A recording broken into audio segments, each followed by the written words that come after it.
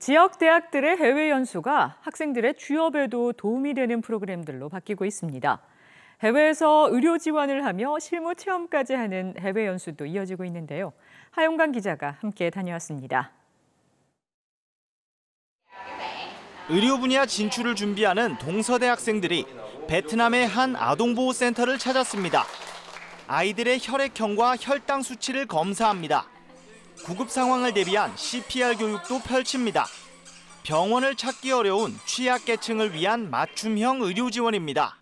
의료기관이나 기관들도 방문해보고 저희가 나중에 도움이 될 수 있는 경험들도 많이 했기 때문에 한국에 돌아가서 저희가 나중에 취업할 때 진로에 많은 도움이 될 수 있을 것 같습니다.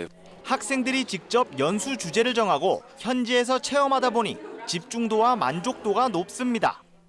보시는 것처럼 한국 학생들은 베트남 취약계층의 의료 활동을 지원하며 실무 관련 경험까지 쌓아가고 있습니다. 이번 프로젝트는 베트남 최초 사립대인 발랑대학교 학생들과 함께 진행했습니다. 지역 대학생이 마련한 연수가 해외 대학과 교류까지 이끌어낸 겁니다. 베트남 학생들도 한국에 대한 관심을 더욱 키워갑니다.